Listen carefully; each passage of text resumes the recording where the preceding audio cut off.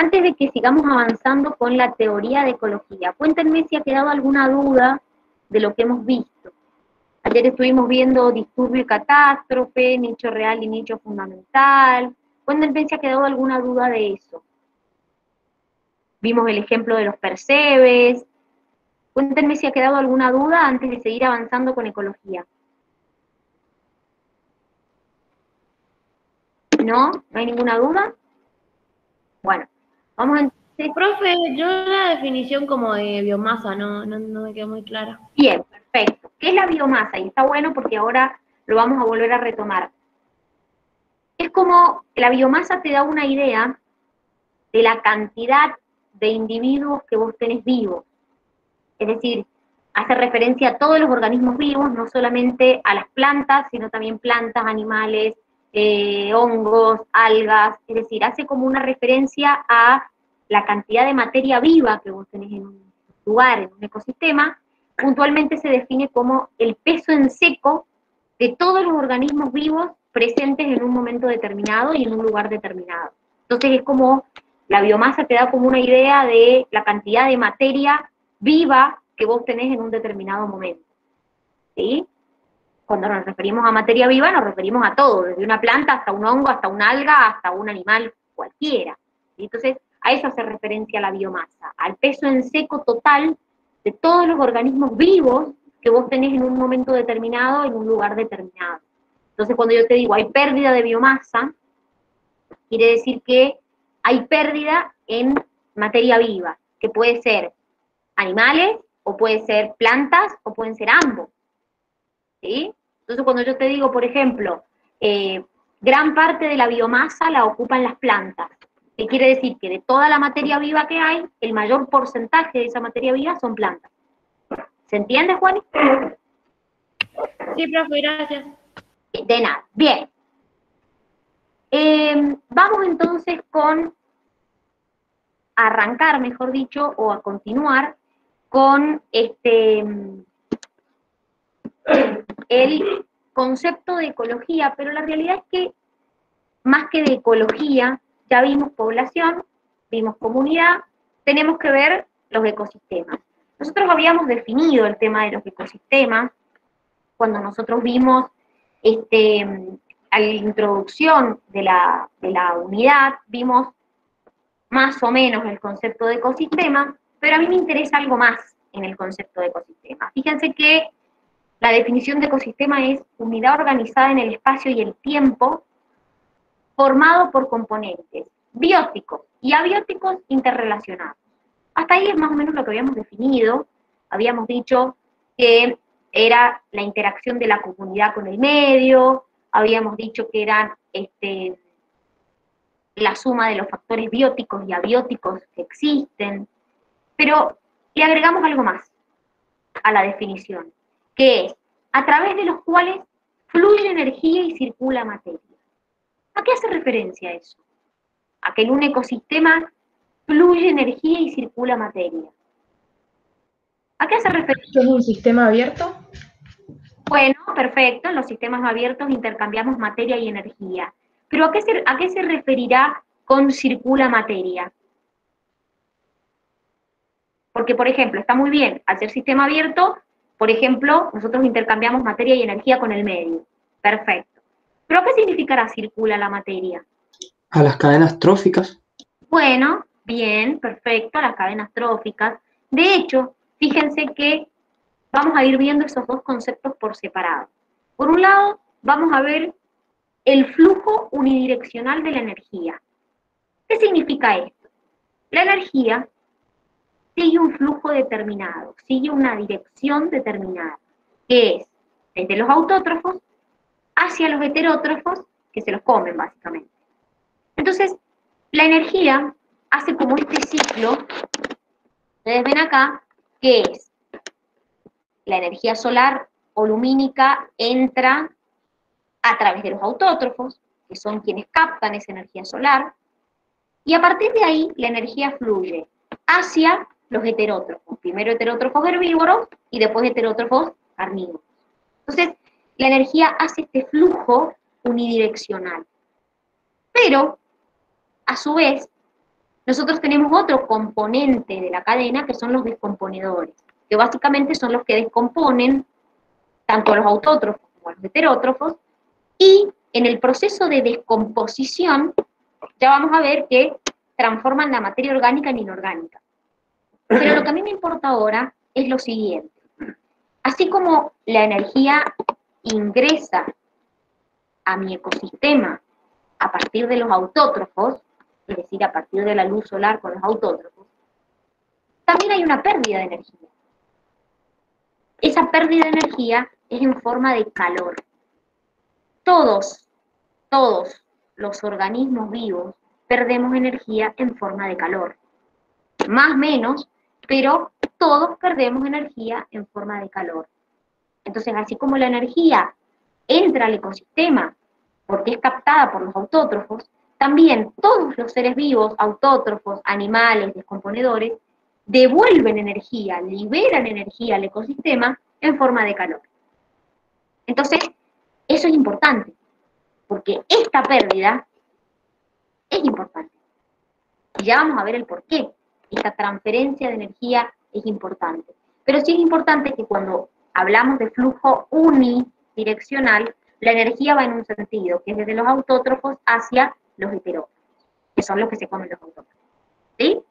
Ahora, yo también les hablé de la materia. Por la energía, ustedes me dijeron, somos sistemas abiertos, está muy bien, intercambiamos materia y energía con el medio.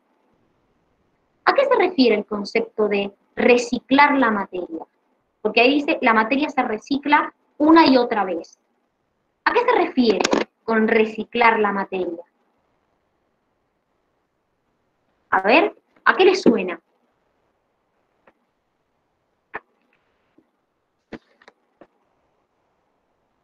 A, ah, lo que dijo usted de que los descomponedores transforman la, la materia orgánica en inorgánica.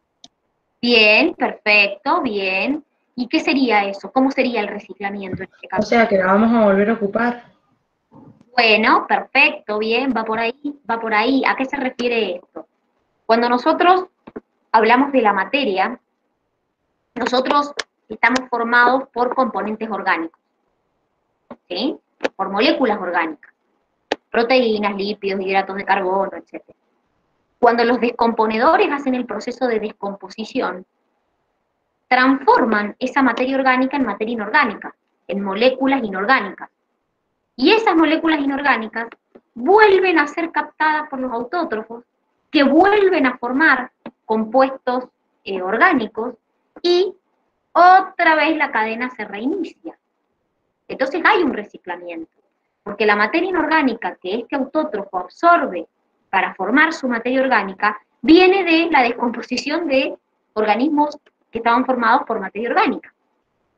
Entonces es un reciclamiento. Pero a su vez, si ustedes se fijan, más allá de que yo, por ejemplo, no sé, este herbívoro incorpora materia o incorpora una fuente de carbono cuando consume a la planta. O este carnívoro incorpora una fuente de carbono cuando consume a este animal. Más allá de la fuente de carbono que incorporamos en el proceso de alimentarnos, también nosotros hacemos un ciclo del carbono. ¿Por qué? Porque incorporamos una molécula orgánica de carbono, ya sea de una planta, o sea, de un autótrofo, o de un animal, pero también devolvemos al ecosistema dióxido de carbono. O sea que, por ejemplo, este herbívoro consume una fuente de carbono al consumir una planta, pero libera dióxido de carbono en su proceso de respiración. Lo mismo este carnívoro, consume un herbívoro en su proceso de alimentarse, pero también en el proceso de respiración libera dióxido de carbono. Y con la planta pasa algo muy particular. Al hacer respiración y fotosíntesis, las dos, entonces en el proceso de fotosíntesis incorpora el dióxido de carbono para formar sus moléculas, sus hidratos de carbono vegetal, y en el proceso de respiración lo vuelve a liberar el dióxido de carbono, o parte, sí, obviamente no todo. Entonces fíjense cómo también a eso se refiere el reciclamiento de la materia. Cuando nosotros hablamos de reciclar la materia, decimos que la materia pasa de lo abiótico a lo biótico y vuelvo a lo abiótico, porque esa es la realidad. ¿sí? Entonces, empieza en el suelo, pasa a lo biótico, que es un árbol, un animal, y otra vez cuando nos descompongo vuelvo al suelo. Entonces, hay un reciclamiento. De parte de lo abiótico pasa por lo vivo y vuelvo a lo abiótico. A eso se refiere este reciclamiento de la materia que ocurre en los ecosistemas. ¿Se entendió? Sí, profe. Bien. Vamos entonces a hablar ahora de el flujo de energía en los ecosistemas. Para eso, les pido por favor que presten atención. Vamos a hablar del concepto de pirámide de número. ¿Y por qué les digo que presten atención? Porque siempre se las confunden con las pirámides de biomasa, pero es lo mismo, que la vamos a ver más adelante. Entonces, ¿qué significa una pirámide de número?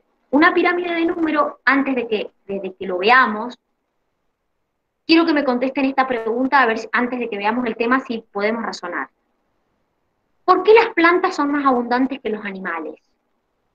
¿O por qué un depredador, por ejemplo, tiene, generalmente carnívoro, hay menor número y tienen más tamaño que un herbívoro que tienen más pequeño tamaño y hay mayor número. ¿Por qué será? ¿Por qué hay más plantas que animales, por ejemplo?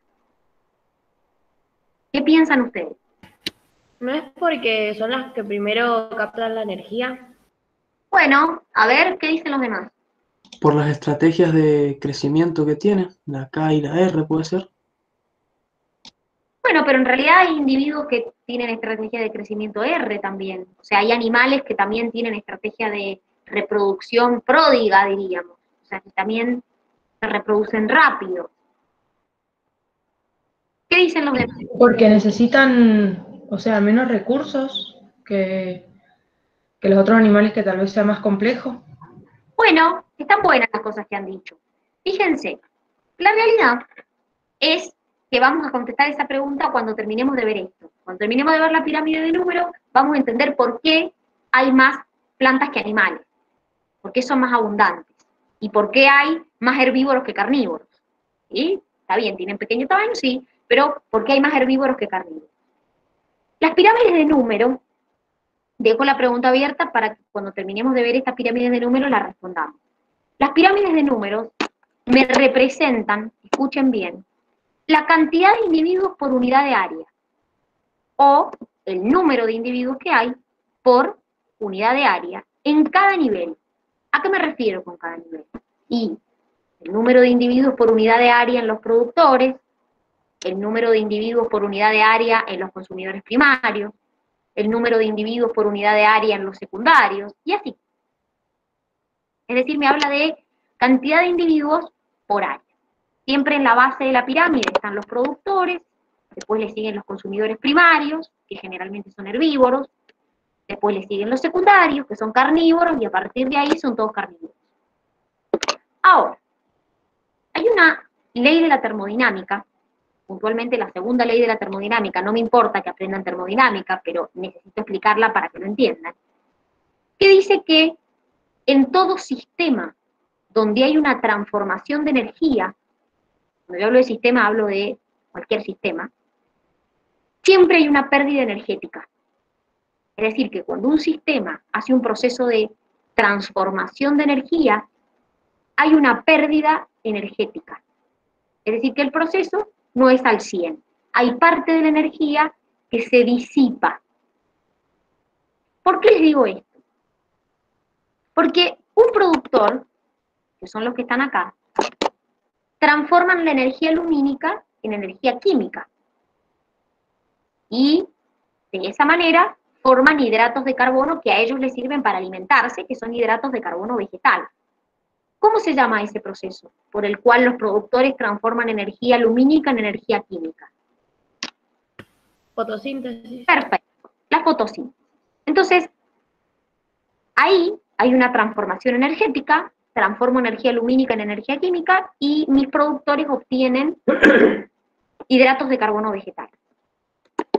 Cuando los consumidores primarios consumen a esos productores, tienen, pueden utilizar la energía si transforman básicamente hidratos de carbono vegetales en hidratos de carbono animales. ese proceso de transformación no es al 100. ¿Qué quiere decir? Que cada vez que este se come a este, este se come a este, y así sucesivamente, hay transformaciones energéticas. Y en esas transformaciones energéticas hay parte de energía que se va perdiendo, se va disipando. Entonces, como cada vez yo tengo menos energía, los animales siempre disponen de menos energía que los vegetales. Por eso hay menos animales. Porque disponen de menos energía. Esa es la razón o esa es la pregunta o la respuesta a la pregunta que hicimos antes. El productor tiene la capacidad de recibir energía lumínica, que es una fuente inagotable, y transformarla en energía química. Pero el consumidor primario que se alimenta de ese vegetal hace una transformación que no es al 100. Y a su vez, el carnívoro que se quiere comer al herbívoro también hace una transformación que no es al 100. Entonces, en cada uno de estos procesos, ya vamos a ver cuánto, se va perdiendo energía. Por eso hay menos animales que vegetales, porque la cantidad de energía que van recibiendo es cada vez menor. ¿Sí? Ahora, estamos hablando de las pirámides de número. Dijimos que las pirámides de número me representaban a la cantidad de individuos por unidad de área. Obviamente en cada nivel de mi cadena. ¿Por qué esta pirámide es así y esta pirámide es así? ¿Qué vende diferente de esta pirámide a esta pirámide? ¿Cuál es la diferencia? ¿Qué vende diferente?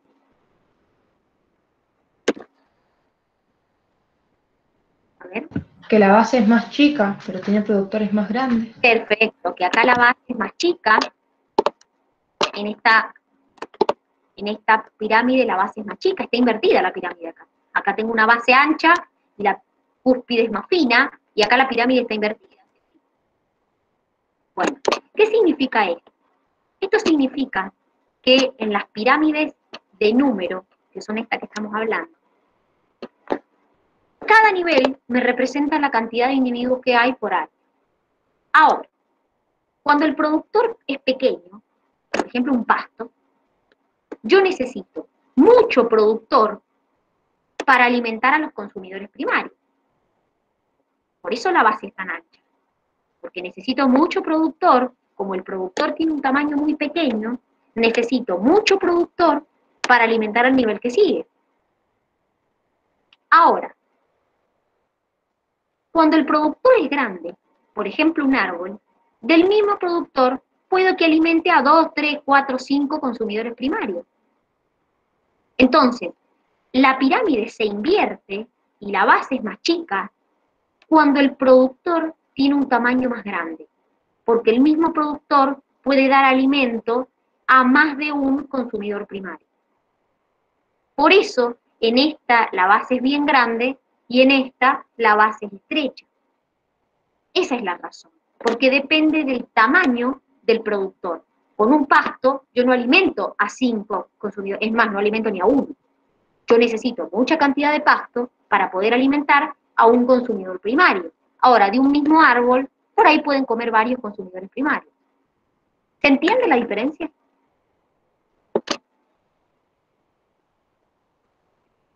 ¿Vamos bien hasta acá? ¿Se entiende la diferencia? Sí, sí, profe. Sí. Entonces, ¿qué tenemos que ver ahora? ¿Por qué vamos a ver las capas de la atmósfera? Ustedes me van a decir, ¿a mí qué me importa? Porque por lo que hemos visto acá, por lo que hemos estado hablando de esto de la transferencia de energía, la realidad es que los autótrofos son la base de esta pirámide.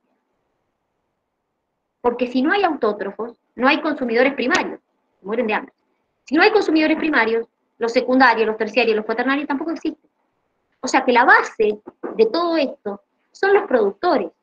La base de estas cadenas, la base de estas pirámides, son los productores. Y los productores necesitan luz, necesitan energía solar. Entonces, ¿por qué me importan las capas de la atmósfera? Porque para poder llegar a la Tierra, la energía solar tiene que atravesar las capas de la atmósfera. ¿Toda la energía del Sol llega a la Tierra? ¿O no? No. No, claramente que no. Entonces yo tengo que ver ¿Cómo influye la atmósfera en la energía que me llega a mí? A mí no me importa porque yo no soy un fotosintético, pero sí me importa para la cadena que viene abajo. Porque hay herbívoros que se alimentan de autótrofos y esos herbívoros van a alimentar a carnívoros y así. Entonces, a la cadena le importa porque la base son los autótrofos. Entonces yo necesito recibir esta energía para que los autótrofos se crezcan.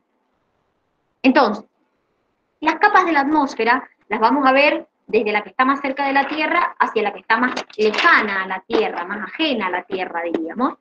Entonces vamos a empezar por la troposfera. La troposfera es esta que tenemos acá. Es la capa más cercana a la Tierra. Cuando nosotros hablamos de las condiciones climáticas, hablamos de lo que está pasando acá, en la troposfera. ¿sí? Fíjense que acá les van mostrando la altura y acá vamos viendo variaciones de temperatura que hay. Porque van a ver que hay variaciones bastante grandes de una capa a la otra. Es decir, a lo largo de las capas de la atmósfera la temperatura va variando bastante. Entonces, una vez que paso de la troposfera, me voy a la estratosfera. La estratosfera es donde está nuestra capa de ozono. Fíjense que acá la tiene. ¿Para qué sirve la capa de ozono?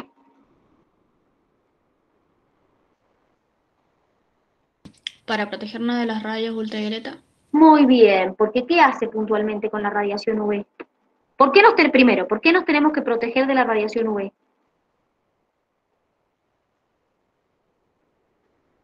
¿Por qué tenemos que protegernos? Es un factor cancerígeno. Bueno, pero ¿por qué es cancerígena? ¿Qué hace?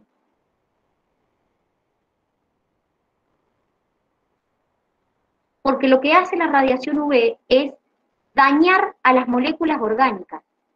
Y recuerden que nosotros estamos formados por moléculas orgánicas, lípidos, proteínas, hidratos de carbono, ácidos nucleicos. Entonces, la radiación UV produce daños en las moléculas orgánicas. Esa es la razón por la que nos tenemos que proteger de la radiación UV. Todos los seres vivos estamos formados por moléculas orgánicas. Entonces, ¿qué hace puntualmente la capa de ozono? Absorbe la radiación UV. Eso es lo que hace mi capa de ozono. Ahora, volviendo un poquito a lo que estamos hablando de la estratosfera, en la capa superior de la estratosfera, yo tengo una temperatura que es básicamente ligeramente inferior a lo que es la temperatura de la Tierra. ¿Sí? Es decir, es un poquito inferior a lo que es la temperatura de la Tierra normal que nosotros tenemos. Paso a la capa que sigue, que es la mesósfera. En la mesósfera, la temperatura comienza a disminuir en forma gradual. ¿Por qué? A medida que me disminuye la concentración de ozono, va disminuyendo la temperatura. Entonces, fíjense cómo en esta curva de temperatura que ustedes tienen acá, vamos viendo cómo la temperatura va disminuyendo en la mesósfera a medida que yo me voy alejando de la capa de ozono. Fíjense la temperatura que tenía acá y fíjense cómo me voy alejando y me voy volviendo cada vez más fría. De hecho, la mesósfera es la capa más fría de las capas de la atmósfera. Y por último, llego a la termósfera. En la termósfera también se llama ionosfera. ¿Por qué se llama ionosfera? Se llama ionosfera porque tengo muchos átomos en esta capa, tengo muchos átomos ionizados. Entonces, la termósfera es donde se absorbe la mayor cantidad de fotones del Sol. Y básicamente en la capa como más externa de esta termósfera es donde em, se mezclan átomos de hidrógeno y de helio también. Entonces, esta capa, que es la termósfera, claramente me muestra otra vez un aumento de la temperatura. Esta es la capa más fría. Entonces, fíjense cómo la temperatura va variando a lo largo de las distintas capas de la atmósfera. Pero ¿por qué es importante saber? Porque básicamente mi radiación tiene que atravesar todo esto hasta llegar a la Tierra. Entonces, ya que estamos hablando un poco de la radiación, vamos a hablar de esta energía solar. Ustedes me dijeron que de toda la energía solar, no todo llega. ¿Saben cuánto es lo que llega? El 50% llega nada El resto no. del 50% restante, hay un 30% que se refleja, por eso se ve como un cuerpo brillante, y hay un 20% que se absorbe. Dentro de ese 20% que se absorbe, 17% se absorben en las capas inferiores de la atmósfera y un 3% en la ionosfera. Entonces, todo esto no llegó. O sea, lo que llega es el 50%. De hecho, hay un eh, concepto que se llama albedo, que básicamente es el porcentaje de energía que se refleja en relación con la energía que incide. En criollo es de la energía que incide cuánto se refleja. Se refleja el 30%. Entonces, de ese 50% que yo recibo en mi tierra, solamente, y escuchen bien, del 1 al 3% se usa en la fotosíntesis. Nada. Es decir, fíjense que del 50% que llegó, solamente del 1 al 3% se usa en la fotosíntesis. Y sin embargo alcanza para los productores. Ahora, vamos a hablar un poquito, de que estamos, este, que lo dijimos recién, sobre la capa de ozono. Ustedes me dijeron que la capa de ozono era importante porque lo que hace es básicamente como, como frenarnos la radiación UV. Fíjense, básicamente lo que hace la capa de ozono es filtrar el 99% de las radiaciones que recibe y convertirlas en calor. ¿Cómo hace eso? El UV entra en contacto con el ozono, el ozono recuerden que es oxígeno 3, libera átomos de oxígeno y esos átomos de oxígeno rápidamente se vuelven a recombinar y vuelven a formar ozono. Entonces, en ese proceso hay liberación de calor, que es ese calor que ustedes ven acá. O sea que es necesaria la capa de ozono. ¿Qué pasa? A lo largo de la existencia del hombre, la realidad es que esta capa de ozono se ha ido como este, disminuyendo. ¿Por qué ha ido disminuyendo? Bueno, por distintos factores. La contaminación ambiental es uno de ellos. De hecho, hay un compuesto que se llama clorofluorcarbonados, que son estos que están acá, que son compuestos que venían, compuestos químicos, que venían en, matafuegos, en las heladeras como refrigerante, en los desodorantes corporales y también en los desodorantes ambientales, y es una sustancia química sumamente reactiva, porque este clorofluorcarbonado lo que hacía, ahora está prohibido supuestamente, es reaccionar con el ozono y liberar moléculas de cloro. Entonces, de esa manera, el cloro iba destruyendo las moléculas de ozono.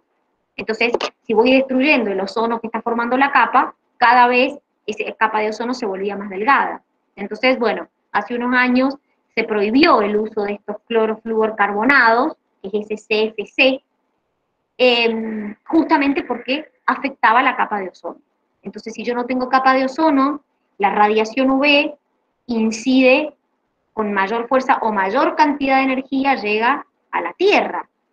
Entonces, si llega más a la Tierra, es más dañino. Por eso está todo esto, vieron, de el tomar sol en ciertas horas, donde la energía solar no es tan fuerte, porque puntualmente daña moléculas orgánicas, chicos. Más allá de que es lindo estar bronceado, eh, daña moléculas orgánicas. Y las moléculas orgánicas, todos los seres vivos, estamos formados por moléculas orgánicas. Si no existiera capa de ozono y toda la radiación llegara a la Tierra, no existirían los organismos vivos. Porque justamente el daño que produce es grande en las moléculas orgánicas. Como ustedes me dijeron bien, hasta produce mutaciones, es cancerígeno. Entonces, ¿por qué me importa la energía solar? Porque la energía solar condiciona muchas cosas.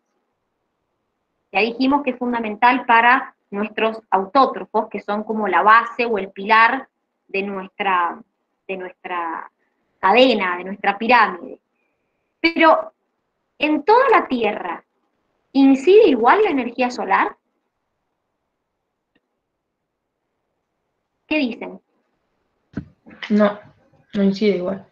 No. De hecho, ¿por qué no incide igual? Porque la Tierra está ligeramente inclinada. Como está ligeramente inclinada, no es lo mismo la radiación que llega a los polos que la radiación que llega al ecuador. En el ecuador, la radiación es perpendicular. Entonces, al ser perpendicular, reciben mayor energía solar. En cambio, en los polos, la radiación es en forma paralela. Entonces reciben menos energía solar. ¿Cómo a ustedes les parece que influye ese cambio en la energía solar? ¿En qué influiría? ¿En qué les parece que puede influir?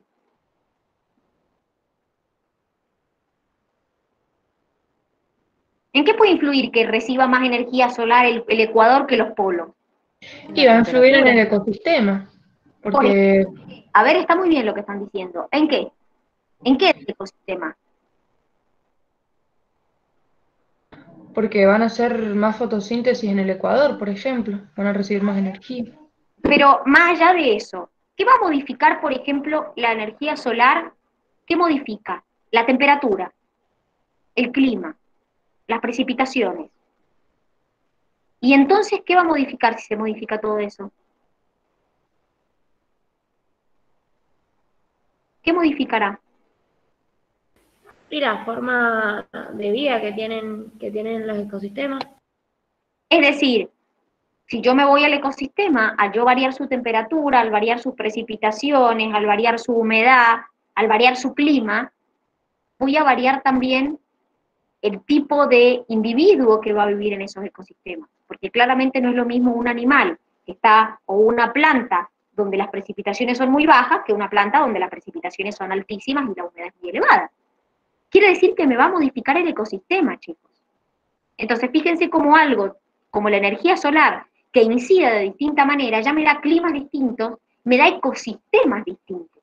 No es solo, ah, bueno, sí, infiere, la radiación es distinta. Claro, perfecto. El tema es que no es solamente eso. El, cambio en la energía solar produce cambios este, a nivel ecosistema en general. Esa es la importancia que tiene la energía solar.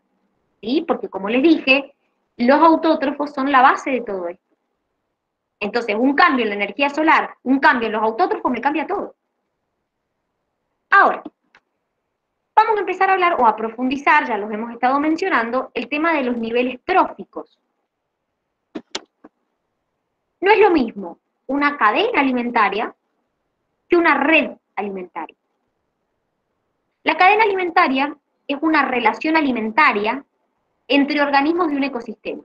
Es esta famosa cadenita que nos hacían dibujar por ahí en la primaria, del productor, el consumidor primario, el consumidor secundario, el terciario, siempre acuérdense que la flecha puntal, yo siempre les digo, el es comido, ¿sí? Este es comido por este, este es comido por este, este es comido por este, y así. Ese es el sentido, no van en cualquier sentido las flechas, ni en una cadena ni en una red. Ahora, ¿cuál es la diferencia con una red? Que la red es un conjunto de interacciones entre los organismos de ese ecosistema, donde incluyo productores, consumidores de distintos niveles, detritívoros, y ahí fluye la energía y circula la materia. Esto que tienen acá, que parece un lío, la realidad es que es lo que pasa, chicos. Esto es una red trófica. ¿Por qué es una red trófica? Porque la realidad es que, por ejemplo, los, los consumidores, los depredadores, no tienen una sola presa. No es real eso.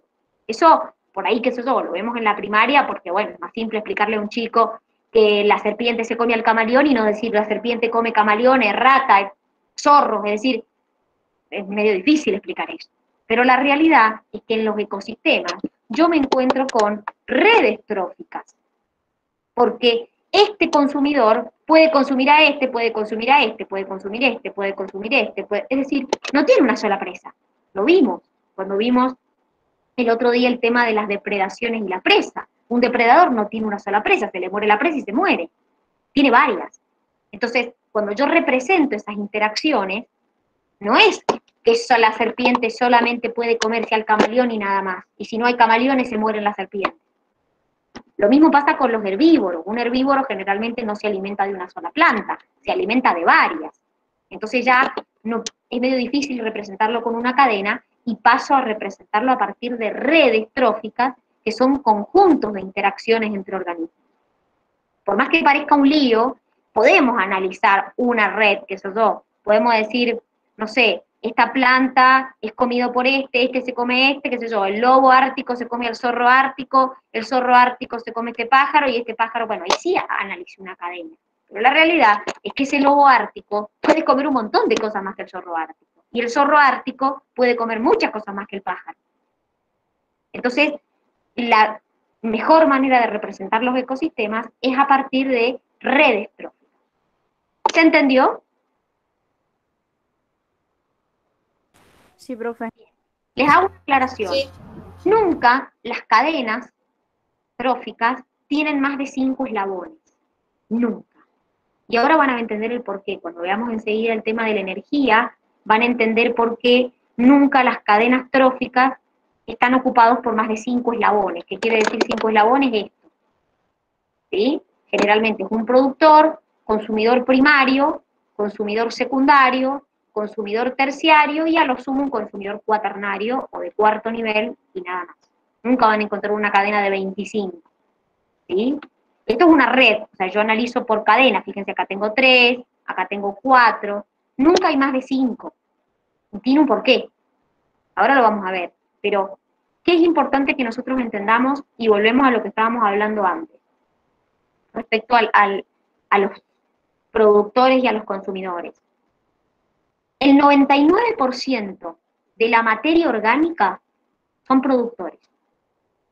Y el 1% restante son heterótrofos.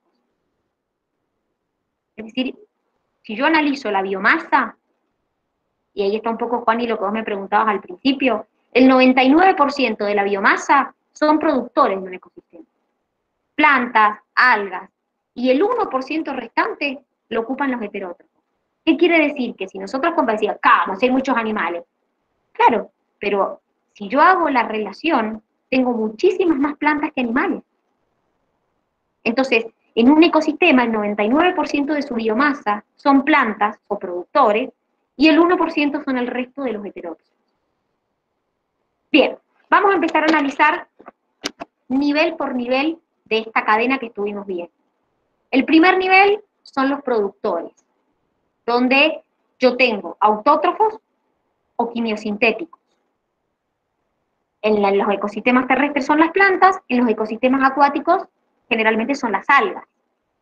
Ahí está lo que les estaba diciendo yo de el 99% de la materia orgánica son productores.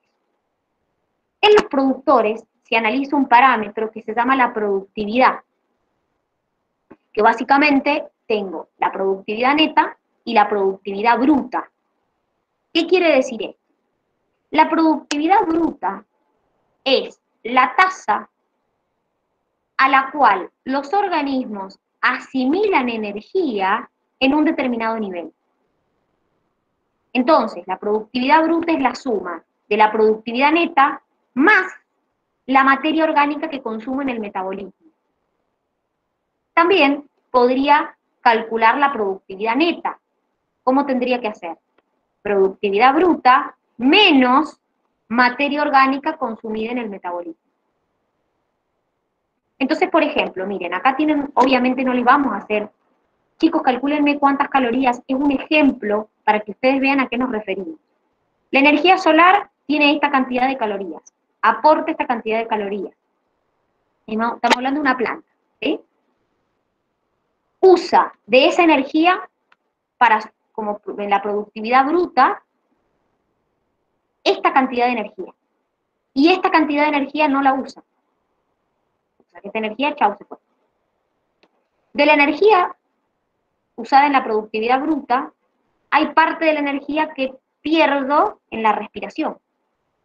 Entonces, la productividad neta será la bruta menos lo que consumí. Entonces, miren el valor de productividad neta, es decir, cuánta energía química almacenó. esto que tiene acá. Miren lo que había entrado y miren lo que realmente almacenó ese productor. Eso es lo que se conoce como productividad neta. ¿De qué depende esa productividad? De varios factores. Depende. Obviamente estamos hablando de productores, entonces depende de las temperaturas, de las precipitaciones, de los minerales que tenga el suelo, minerales como el nitrógeno, el carbono, y de la luz, pero no solamente de la duración de la luz, sino también de la intensidad que esa luz tenga. Entonces, estos factores modifican la productividad. ¿Se entiende?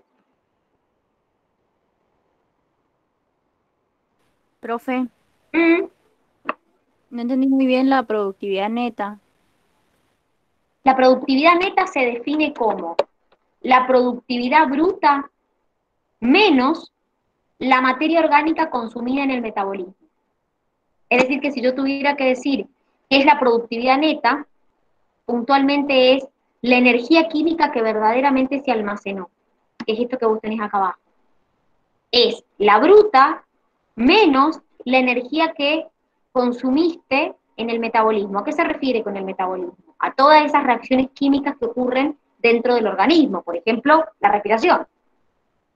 Entonces, la productividad bruta menos la energía, la materia orgánica que consumiste en el metabolismo, se conoce como productividad neta. ¿Se entiende? Sí, profe, gracias. Bien, de nada. Vamos con el siguiente nivel, los consumidores. Los consumidores tenemos los primarios y los secundarios. Claramente los primarios son herbívoros y los secundarios, a partir de los secundarios, los terciarios, los cuaternarios, yo ya tengo consumidores carnívoros. Entonces, en realidad, los consumidores primarios, solamente una pequeña parte de la energía que consumen del productor la pueden almacenar como biomasa animal. Y lo mismo más pasa con los consumidores, con los consumidores secundarios, es decir, solo una parte de la sustancia orgánica que consumen del cuerpo de un herbívoro lo incorporan. No es el total. Por eso hablamos de esto, ya lo vamos a ver enseguida, por eso hablamos de esto de la pérdida de energía, de esa parte que se disipa. Vimos productores, vimos consumidores, vamos con los saprófagos. Dentro de los saprófagos, o por qué son tan importantes, los estuvimos mencionando antes, los, los saprófagos los voy a tener que dividir en dos, en detritívoros o carroñeros y descomponedores. ¿Qué quiere decir esto? Los detritívoros son los que consumen presas muertas. Hiena, buitre, cuervo. Son los que generalmente me modifican el tamaño de la presa, me la este, reducen el tamaño de la presa y pueden que hagan alguna transformación cuando lo digieren, cuando se mezclan con las enzimas digestivas. Es decir, no hacen una transformación de materia orgánica en inorgánica. Ese proceso lo hacen los descomponedores, que son los que verdaderamente transforman la materia orgánica en inorgánica. Por ejemplo, bacterias, hongos, lombrices. Entonces, el paso final, más allá de el productor, el consumidor, son los saprófagos, porque son los que hacen dos procesos, que son los dos procesos que me van a implicar la descomposición total de la materia orgánica. Es decir, yo le digo, bueno chicos, ¿cómo descompongo la materia orgánica? Dos procesos. Primero una humidificación y después una mineralización. La humidificación es cuando formo humus, es la primera etapa, que es cuando lo formo esa tierra pura, esa tierra fértil. Y el paso que sigue a eso es la mineralización, que es cuando directamente hago la descomposición total y transformo toda la materia orgánica en materia inorgánica. Entonces, de eso se encargan los saprófagos. Por eso son tan importantes también en las cadenas alimentarias. A nosotros por ahí, en la escuela primaria, nos enseñaban como parte de la cadena solo consumidor, productor y nada más. Y la realidad es que los saprófagos son fundamentales en ese reciclamiento de la materia que hemos estado viendo porque son los que verdaderamente hacen la transformación de orgánico a inorgánico, sobre todo los descomponedores dentro de los saprófagos. ¿Se entienden?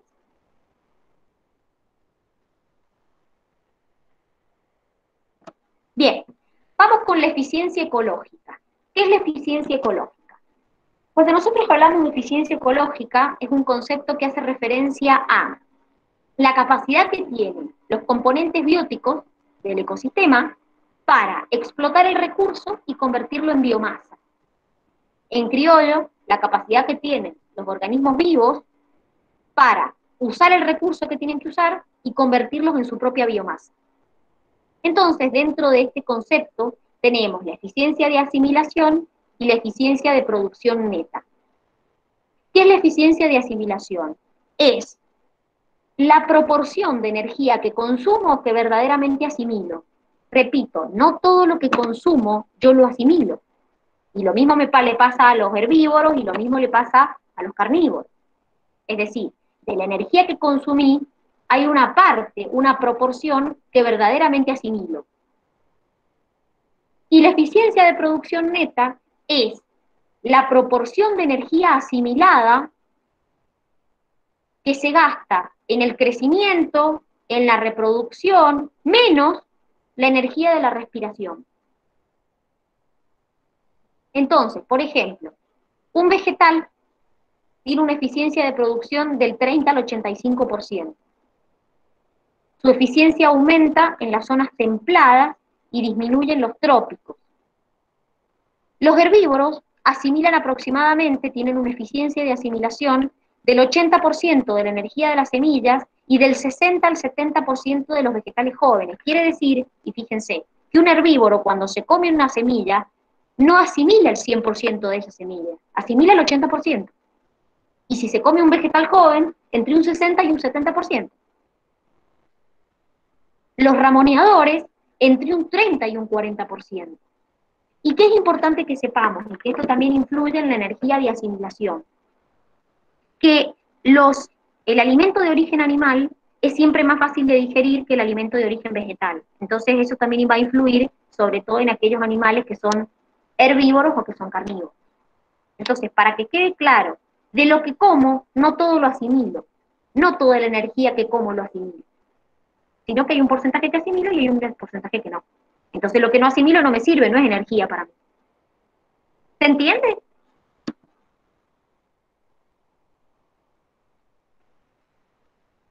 Sí. Bien. Vamos a hablar, para redondear, de esto que hemos estado hablando, de la eficiencia en la transferencia de energía. Como yo les dije, chicos, a medida que yo voy avanzando en mi cadena trófica, ¿sí? Cada vez voy teniendo menos energía disponible. Por eso las cadenas solamente tienen hasta cinco niveles o hasta cinco eslabones. ¿Por qué? Porque se sabe que solamente el 10% de la energía almacenada se puede usar como biomasa. ¿Qué quiere decir? El 10% de energía que tiene un productor se convierte en biomasa de este animal. El 10% del que tiene este en biomasa de este. El 10% de este en biomasa de este. Entonces, a medida que yo voy avanzando en mi cadena, cada vez tengo menos energía. Entonces, fíjense, si empiezo desde el 100, el herbívoro va a poder usar un 10%, va a poder asimilar un 10%. El consumidor secundario un 1, el terciario un 0,1 y así por eso es que las cadenas tienen hasta cinco eslabones, porque si cada vez siguieran, tendría el 0,000001, el 0,0, no recibiría energía.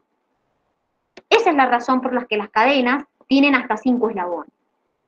Porque solamente el 10% de la energía se puede utilizar.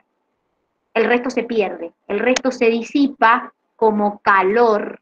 Y acá está lo que vimos, de que en todo proceso de transformación energética, hay parte de energía que se pierde. ¿Se entendió?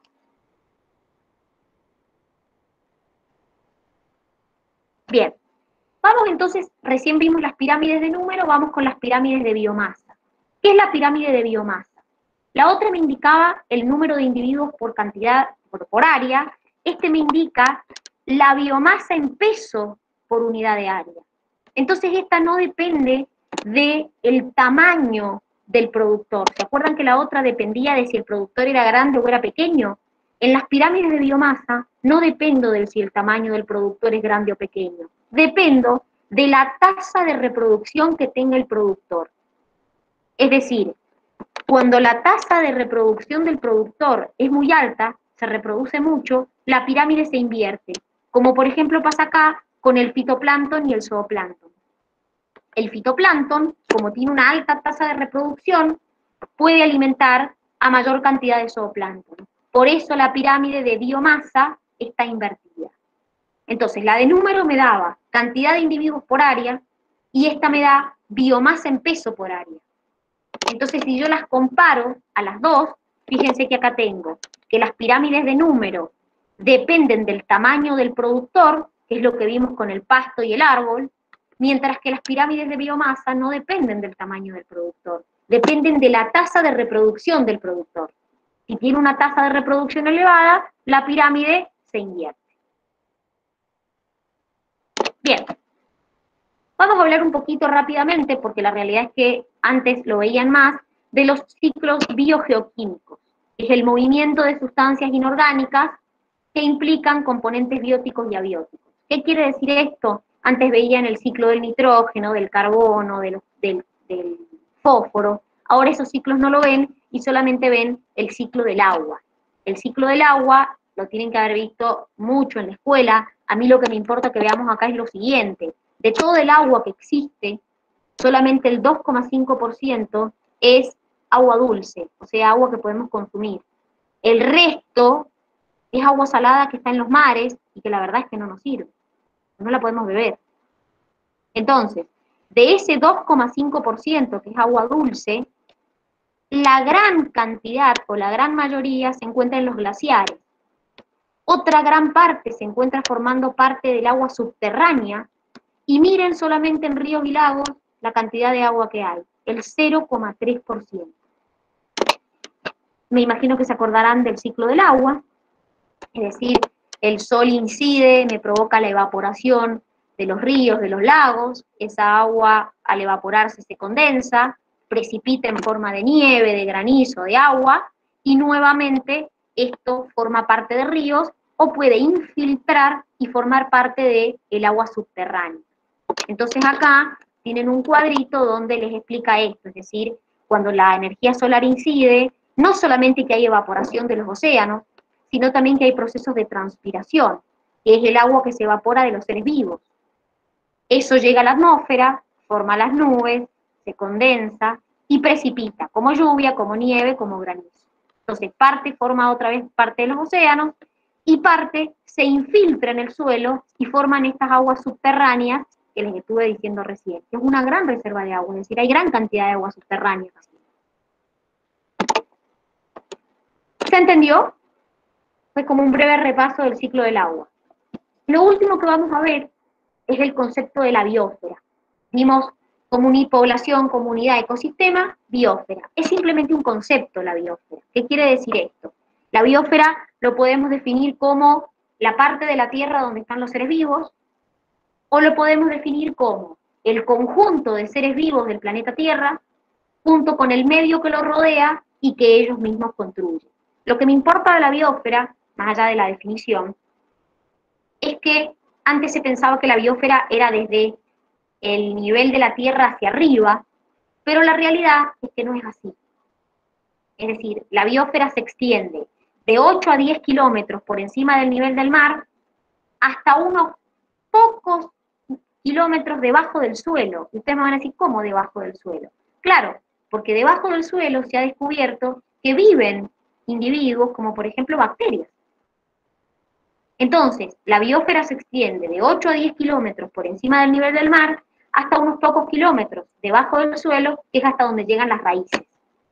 Esa es la extensión que tiene la biosfera. ¿Se entendió?